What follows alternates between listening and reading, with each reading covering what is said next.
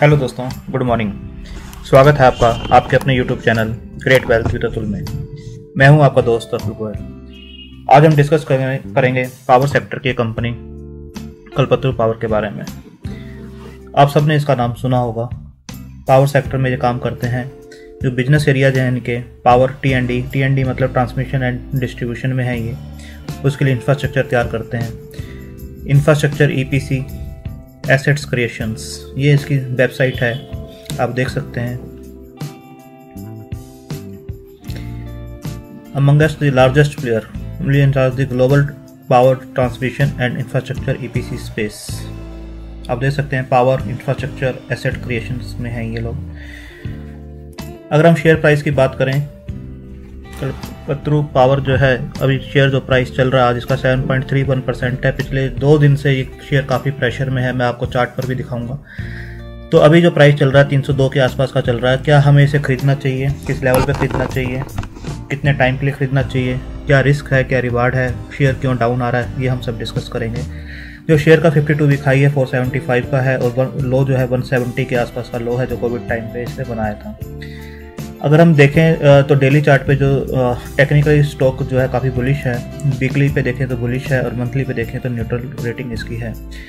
Stock का जो market cap है अड़तालीस सौ पचास का है मतलब स्मॉल कैप कंपनी है। डिविडेंड जो है फेस वैल्यू दो पर एक सौ पचहत्तर परसेंट के आसपास देते हैं, जो कि गिल्ड बनता है one point zero seven percent के आसपास का, जो कि ठीक ठाक है। बहुत ज़्यादा इंप्रेसिव भी नहीं कह सकते और बहुत ज़्यादा डाउन भी नहीं है बट रेगुलर डिविडेंड ये पे करता है। डिलीवरी जो हो रही है अब वो 50 परसेंट है। कल जो हुई थी 54 परसेंट थी। थ्री डे की एवरेज 52 परसेंट के आसपास है। फाइव डेज़ की जो है 50 है। एट डेज़ की 53 परसेंट के आसपास। अब अब 50 जो डिलीवरीज होती हैं अच्छा स्टॉक माना जाता है उसे। बट शेयर प्राइस डाउन आ रहा है तो लोगों को ये डाउट होगा कि लोग बेच रहे हैं इसके अंदर। तो रीजन हमें पता होने चाहिए क्यों बेच रहे हैं, क्या स्पोर्ट है उसका, वो हम डिस्कस करेंगे। इंडस्ट्री पे जो है थर्टीन पॉइंट सेवन नाइन की जबकि ये जो काम कर रहा है टेन पॉइंट टू सिक्स के ऊपर काम कर रहा है अपनी। इंडस्ट्री पी से डाउन ही काम कर रहा है। चेकलिस्ट एक और चेक कर लेते हैं हम टिकट टेप के ऊपर। जो इंट्रेंजिक वैल्यू है, इसकी जो फेयर वैल्यू है, ये उससे कम। Current value less than the intrinsic value जो फेयर वैल्यू है, इसकी इससे कम वैल्यू पे ये काम कर रहा है इस टाइम यानी इसकी फेयर वैल्यू जो इससे ऊपर की है। रिटर्न वर्सेस एफडी अगर इसकी रिटर्न्स को हम देखें ओवर द टाइम और कंपेयर करें बैंक एफडी से तो इसने अच्छे रिटर्न बना के दिए हैं बैंक एफडी से कंपेरिजन में। डिविडेंड रिटर्न जैसे मैंने आपको बताया, बहुत ज़्यादा अच्छा नहीं है, बहुत ज़्यादा इंप्रेसिव नहीं है अट्रैक्टिव नहीं है। एंट्री लेवल ये अपने अभी बताया गया है not a good time to invest थोड़ा सा और डाउन आने दें। अब ये डाउन आ चुका है, ये जो पॉइंट्स दिखाए गए हैं, ये कल के या परसों के टाइम के है अपडेट नहीं हुआ है, क्योंकि आज भी सेवन परसेंट डाउन है। तो इस लेवल पे ये एक दो दिन में अपडेट होगा, तब दिखाएगा कि good time to invest red flags found red flags इसलिए है क्योंकि प्रमोटर की होल्डिंग जो है कुछ इसके अंदर प्लज की हुई है, इसलिए इसको रेड फ्लैग दिखाया गया। अदरवाइज़ ये सेबी की किसी भी लिस्ट के अंदर सर्विलांस पे नहीं है। A S M G S M list में सर्विलांस पे नहीं है। ऐसा कोई रिस्क इसके अंदर नज़र नहीं आता है। ये जो इंडस्ट्री में काम करता है, वो पावर इंफ्रास्ट्रक्चर की कंपनी है स्मॉल कैप कंपनी है 370 इसका रैंक है लो रिस्क कंपनी है। जैसा मैंने बताया, आपको कोई रिस्क ऐसा नज़र नहीं आता है। तो लो रिस्क कंपनी है। सेक्टर का डिविडेंड जिल्ड जो है 1.17 का है। इसका डिविडेंड जिल्ड 1.07 का ऑलमोस्ट अपने इंडस्ट्री के पी पे ही अपने इंडस्ट्री के जो डिविडेंड जिल्ड है मैच करता है। अगर आरओसी देखें रिटर्न ऑफ़ कैपिटल एम्प्लॉयड जो है ट्वेंटी पॉइंट वन परसेंट का है। आरओई रिटर्न ऑन इक्विटी जो है इलेवन पॉइंट नाइन परसेंट का है और डिविडेंड ज़ीरो एट परसेंट का फेस वैल्यू दो की है इसकी। अगर चार्ट पे देखें 200 डी डीएमए के ऊपर ये काम कर रहा है। अब देखेंगे 200 डीएमए के ऊपर ये काम कर रहा है। 279 का इसका जो लेवल बनता है 200 डीएमए है। 14 नवंबर से इसके ऊपर ही ये काम कर रहा है। अगर प्रोज की बात करें तो प्रमोटर ने इसके अंदर शेयर होल्डिंग अपनी ओवर जो लास्ट क्वार्टर था उसके अंदर इंक्रीज की है, वो हम नीचे देखेंगे। अगर क्वार्टर ऑन क्वार्टर अगर इसे हम डिस्कस करते हैं तो जून 2008 से अगर कंपेयर करें, सितंबर 2020 की जो सेल्स है 2000 से इंक्रीज होकर 3000 के आसपास हो गई है। अच्छा इंक्रीज हुआ है। ओपीएम जो होता है ऑपरेटिंग प्रॉफिट मार्जिन होते हैं 13 परसेंट से इंक्रीज होके ये ऑलमोस्ट 13 परसेंट के आसपास ही काम कर रहे थे। पहले बीच में से डिप किया था इसने 9 परसेंट के आसपास। अब अगेन 13 परसेंट के ऊपर ये काम कर रहे हैं। आप देखेंगे ओवरऑल 13 परसेंट के आसपास इनका ओपीएम रहता है। ऑपरेटिंग प्रॉफिट्स जो हैं, दो करोड़ से इंक्रीज होकर तीन सौ अस्सी करोड़ के आसपास पहुँच गए हैं। अगर नेट प्रॉफिट को देखें 85 से इंक्रीज होकर 144 के आसपास ये पहुँच गया है। अगर कुछ सालों का कंपेयर करें एनुअल जो रिपोर्ट्स हैं, उसको देखें तो सेल्स जो है 2009 में बत्तीस करोड़ की हुआ करती थी, जो कि बारह करोड़ की हो गई ऑलमोस्ट चार गुना के आसपास हो गई है। ऑपरेटिंग प्रॉफिट मार्जिन को देखें 10 परसेंट से इंक्रीज होकर 12 परसेंट के आसपास हो गए हैं। बीच में ये 13 परसेंट भी हो गए थे बट 12 परसेंट इस टाइम इनके प्रॉफिट मार्जिन हैं। प्रॉफिट ऑपरेटिंग प्रॉफिट देखें, तीन सौ इकतीस करोड़ से बढ़ के पंद्रह सौ तिरतालीस करोड़ के आसपास हो गए बहुत ही इंप्रेसिव है ओवर द टाइम अगर देखा जाए तो चार गुना के आसपास, चार गुना से भी ज़्यादा ऑपरेटिंग प्रॉफिट्स हैं इनके। नेट प्रॉफिट देखें तो 111 करोड़ से इंक्रीज होकर 390 करोड़ के आसपास अगर 2020 की बात करें तो हुए हैं, जो कि पहले 467 करोड़ के आसपास थे। तो प्रॉफिट्स भी इंक्रीज हो रहे हैं प्रॉफिट ऑपरेटिंग प्रॉफिट मार्जिन भी जो है, इनका स्टेबल है थर्टीन परसेंट के आसपास। तो बैलेंस शीट में ऐसा कुछ अभी तक नज़र नहीं आता है कि जो सस्पिशियस हो। अगर डेट की बात करें 2009 में जो थी 945 के आसपास थी, जो कि इंक्रीज होके काफ़ी ज़्यादा इनकी जो है, छत्तीस के आसपास पहुँच गई थी, जिसे ये इन्होंने रिड्यूस किया है। और लास्ट क्वार्टर में भी आप देखेंगे इन्होंने छत्तीस सौ, बत्तीस सौ छियानवे से रिड्यूस करके लगभग 500 करोड़ के आसपास रिड्यूस किया है, सताईस सौ बत्तीस के आसपास इसको लेके आए हैं। तो रिड्यूस हो रहा है डेट तो रिज़र्व जो है आठ सौ तिरतालीस करोड़ से इंक्रीज होकर चौंतीस सौ चवालीस करोड़ के हुए हैं। एसेट्स जो हैं इकतीस सौ छप्पन करोड़ से इंक्रीज होकर पंद्रह हज़ार दो सौ करोड़ के एसेट्स हो गए तो इम्प्रेसिव है, सिर्फ़ डेट जो है, जो रिड्यूस भी कर रहे हैं डेट ही एक एक पॉइंट नज़र आता है जहाँ पर हम थोड़ा सा अलर्ट रहना चाहिए बट ये धीरे धीरे रिड्यूस हो रही है। अगर हम प्रमोटर्स की होल्डिंग को देखें तो प्रमोटर्स की होल्डिंग जो है काफ़ी स्टेबल बनी हुई थी इनिशियली बट बाद में इन्होंने कुछ अपना स्टेक कम किया है सितंबर 2019 में। अब अगेन ये इंक्रीज किया है लास्ट क्वार्टर में, आप देखेंगे 55.29 के आसपास हो गया है।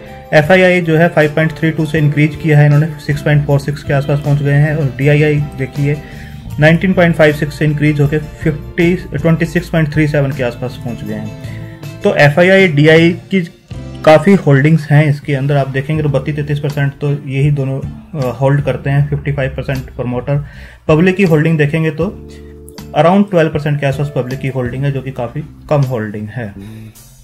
अब ये शेयर प्राइस पिछले दो तीन दिन से क्यों डाउन आ रहा है? अब देखेंगे न्यूज़ में Kalpataru power share falls five percent on purchase of land parcel इन्होंने एक लैंड पार्सल परचेज किया है। Company board at its meeting on December eight twenty twenty है approve capital expenditure of expo approximately rupees two zero seven crore towards purchase of land and will further incur approximately one seventy crore towards construction municipal charges taxes for other approval for development and construction of corporate office of about one seventy nine lakh square feet of leasable area near its existing office at Santacruz Mumbai. इस वजह से ये जो stock पे है, थोड़ा सा pressure बना हुआ है, क्योंकि ये अपना केपेक्स को बढ़ा रहे हैं। और ऐसा कोई रीजन नहीं है। ये शॉर्ट टर्म में ये चीज़ें चलती हैं। ऐसे टाइम पे अगर शेयर डाउन आता है और अपने स्पॉट लेवल पे आता है तो हमें उसे अकोमुलेट करने की अपॉर्चुनिटी देखना चाहिए। अब ये स्टॉक जो है प्री कोविड लेवल पे अगर देखेंगे तो अब ये ऑलमोस्ट जो काम कर रहा था, साढ़े चार सौ के आसपास काम कर रहा था। चार सौ पैंसठ साढ़े चार सौ चार सौ पैंसठ के आसपास काम कर रहा था। उसके बाद से ये डाउन आया है। डाउन आया तो ये एक सौ पिचहत्तर के आसपास आया। वहाँ से इसने अच्छा मूव दिखाया। और यहाँ पर देखेंगे ये एक अच्छा स्पॉट बनता है 230 के आसपास। एक नैरो रेंज में काम कर रहा था 230 और यहाँ पर देखेंगे तीन बार इसने 280 के टच करने की ट्राई की है। 280, 280, 280 तीन बार। चौथी बार में अच्छे वॉल्यूम्स के साथ इसने 280 को क्रॉस किया है। और 304 के आसपास गया वॉल्यूम देख सकते हैं छः लाख पचानवे हज़ार के आसपास के वॉल्यूम्स हैं इसके, उस टाइम पर जब इसने क्रॉस किया, तीन बार क्रॉस नहीं कर पाया और अगेन 230 के आसपास आता था ये।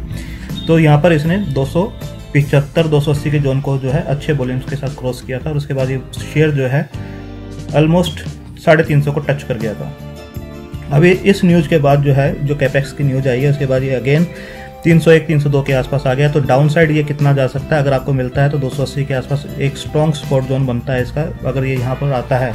तो आपको बिल्कुल इसके अंदर, इसको अकोमुलेट करना चाहिए। इवन 300 से भी आप इसको अकोमुलेट करना स्टार्ट कर सकते हैं। 280 के आसपास अकोमुलेट किया जा सकता है इसको अच्छा। डाउन साइड इसके अंदर और क्या बनती है? अदर स्पॉट जो बनता है 230 के आसपास का बनता है। बट ये 280 275 तक ही मैक्सिमम आएगा। तो यहाँ पर इस आपको अकोमुलेट करना चाहिए।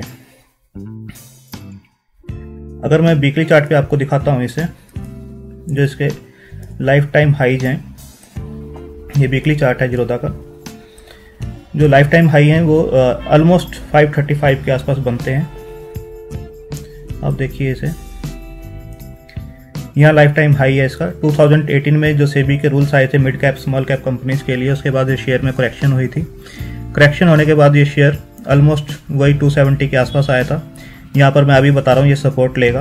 आप देखिए 270 के आसपास यहाँ पर आया था और अभी भी ये 275 को ये क्रॉस नहीं कर पा रहा था। अच्छे बोलिंग के यहाँ पे क्रॉस किया, उसके बाद ये साढ़े तीन सौ गया है। तो यहाँ पर ये अच्छा सपोर्ट बनता है 270 यहाँ से इसने बाउंस बैक किया था और ये अगेन साढ़े पाँच सौ के आसपास चला गया था।